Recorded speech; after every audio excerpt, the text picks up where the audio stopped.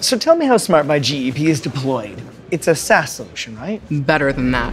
Smart by GEP is truly cloud native. Smart by GEP was built on Microsoft Azure, giving GEP the ability to take advantage of the power and scalability of the world's leading cloud infrastructure. From here, we can roll out our new procurement model we created to all four corners of the globe. And our category managers in different geographies are now able to work together to develop new strategies.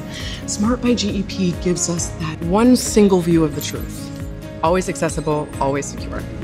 What about your legacy systems? Oh, we have those.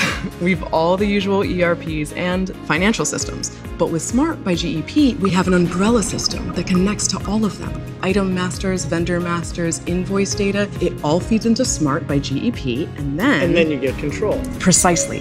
And the fact that GEP built it on Microsoft Azure means that it's aligned with our CIO's global digital strategy. So, how do I get started? Let me introduce you to GEP.